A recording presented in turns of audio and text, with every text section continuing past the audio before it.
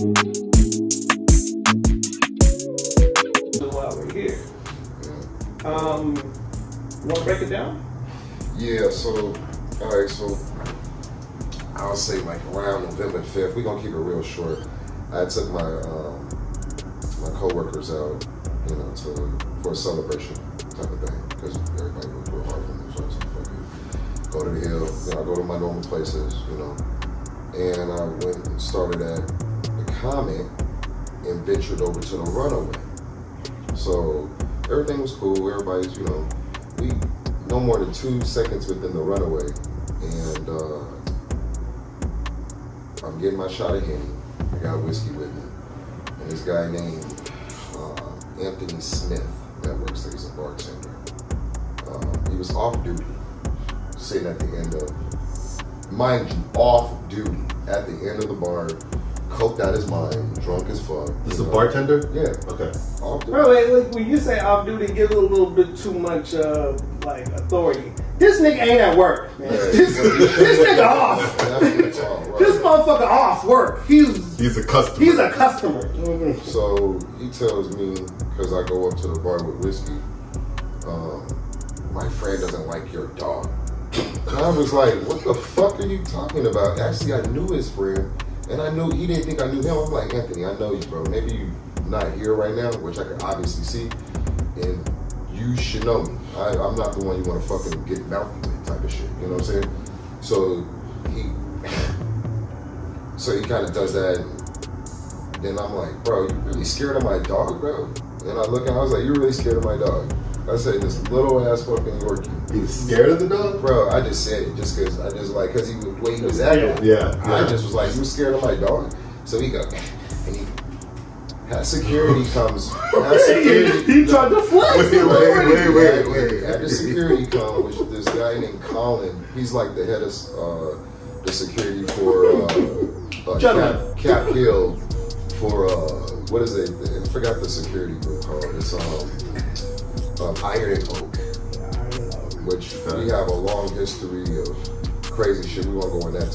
Yeah. So I, I leave the bar, you know, go outside and explain because they had me go right. So uh, I told him what happened. He just, well, you know, if he wants you out here, he's out here. I said, well, he's not even on fucking duty right now. You know what I'm saying? What the fuck is it? What is that about? Well, you know, they give that, you know, support to their whatever. So I leave. I come back later that night and uh, With or without whiskey?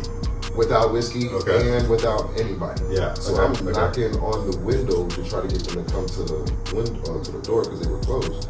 So I'm trying to really just you know ice over the situation. You know what I'm saying? And they come to the window with their cameras out and shit. You know, which they're which they'll quickly say, "Oh, we have you on camera doing this, doing that," but what they have me on camera doing is cursing them out because they came to the window like this in my fucking face instead of treating me like a fucking human being. These people up here promote and thrive on Black Lives Matter, especially during the fucking riots. They were all about this. So when you get a chance to show that Black Lives Matter and you don't and you do some other opposite shit, prodding and doing it. Come, on, bro. That's I'm not with that shit. I'm a grown ass man. And I said out loud, I said, and I quote, I, I mean, I, I literally said this, that all the weird shit up in Capitol Hill, all the gay, transgender, all the crack shit, all the fucking weird shit, all this shit that you accept up here, but I'm not accepting. I, I'm a problem. I'm the villain. I'm the devil here. And I walked off.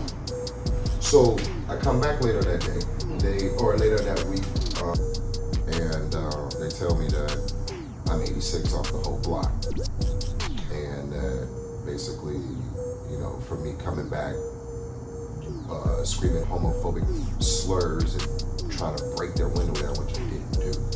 I just tried to get their attention so that I could talk to them. So, um, Uh, could, could you explain what uh, the whole block is? like Comet, uh, everything from everything that uh, Iron and Oak deals with. The whole- which I don't know because security company Right. to on Capitol Hill goes with the whole right, yeah. all the bars, all and the some other places. Um, but the bottom line is, I had some friends. I made some phone calls. You know, that are in the industry, um, make, you know, for me, and uh, was trying to explain the situation. Like, bro, I'm not that way. Ooh, and that dude shouldn't have fucking probably fucked with my dog. You know what I'm saying? So, um, you know, they unreleased the ban. You know, I get uh, I get the okay to come back. You know, which I was like, okay, maybe these people have changed after you know the riots and all the stuff that happened. So um, they said, you know, don't go back to you know runaway. I said that's fine. So just maybe last week ago, I uh, I was sitting down at the bar at, at, at Comet, and uh, one of my you know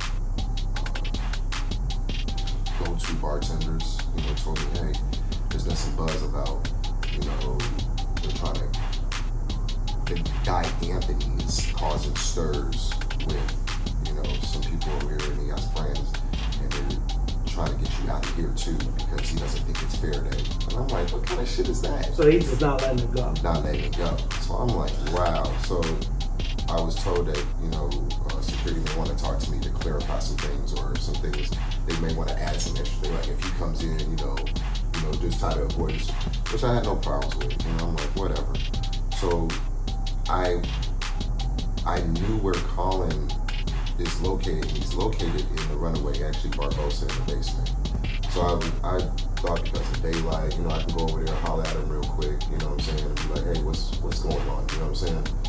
I go over there and the guy Anthony is there setting up his bar and thing. And I was like, this is a good time maybe just to say it's been a minute, you know what I'm saying? Hey, I don't want no beef, you know what I'm saying? I, I, I don't, you know, look, let's just end this, you know? He, you're not supposed to be in here. Oh, I need- get the hell out of here. And I was like, whoa. I was like, somebody didn't rub up my side of that today. today. So uh, I left. I go back to Comet, and uh, one of the managers come down like 15 minutes later crying and saying that she has to 86 me because I went over there and harassed uh, this guy.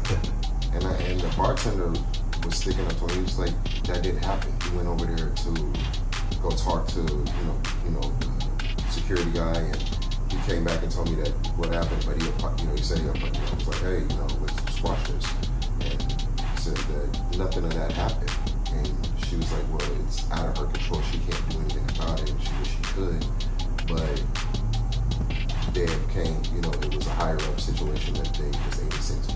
So I tried to call the guy, you know, once again, the uh, Cameron guy, and he sent me this text like this cruise shit, and I'll, you know, give it to you so you can flash it out. But um, just real disrespectful, you know.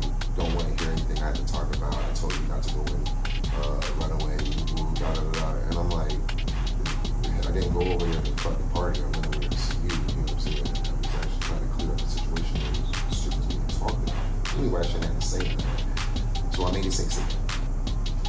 They know that they, that you know, that most of well, majority, well, bars period, they have the the right to refuse, just on looks, whatever. You know what I'm saying? So they know that they're in a way of covered, and they're right. And there's nothing really I can do other than do this and encourage anybody who is black or anybody who goes to Capitol Hill that understands this type of mentality uh, that what's going on, that they will use us for our money. They'll, they'll take your money, but when it comes to any situation, and I'm not the only one that's uh, has that they have done this to. If you go on Yelp, if you go on look up um, the Runaways reviews online.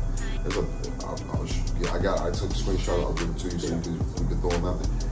It's, it, it's a poorly ran place. It's one of those good old hole in the wall boy, you know, good old boy type of places that you know somehow made it, you know, through the generations. You know And in a place that acts like they don't have that culture. Right. here. Yeah. Yeah, and it shouldn't be. You put a country accent, you put a southern accent on any of those motherfuckers, it's a no-brainer. Like, oh, this is racist shit. Yeah. As soon as you walk in there, you could feel what it was and what they cater to. Because they'll quickly look at you and then they'll do things like they'll try to have like Motown Mondays, you know, things like that. They'll use the black culture. Well, we, we need to quit supporting these neighborhoods where we're not welcome. And they show us that we're not welcome through uh, through the housing market They show us that we're not welcome uh, through the businesses that are allowed to open and allowed to stay open. How many black businesses are in Cali? Right. And when we Not the Central open- District. When we do open, they get us quickly shut down. They get us